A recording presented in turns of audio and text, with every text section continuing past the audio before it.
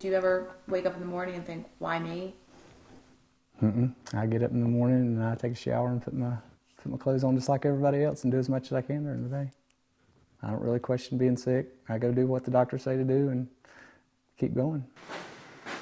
Looking at Barry Williams, you may not even realize he is sick, suffering from esophageal cancer. The average lifespan is 11 months after a stage three metastatic diagnosis. So you were in stage three. Mm-hmm.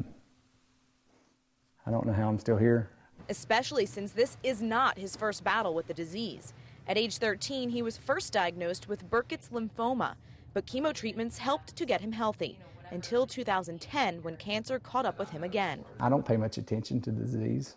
I don't wake up and think about it usually during the day at all. Which is surprising to hear, considering William's relationship with cancer is much more personal than most. Every male in my immediate family has died from cancer. Uh, my grandfather in 03, uh, my dad in 05, and my brother, of course, uh, in 1994. And they said that the probability of that was in the millions. You have a better chance of winning the lottery. But don't think of Williams as unlucky I've got it made. or call him a hero. I'm just regular old coach. That's what they call me. However, to his friends, he's a miracle with an attitude they describe as It is absolutely amazing.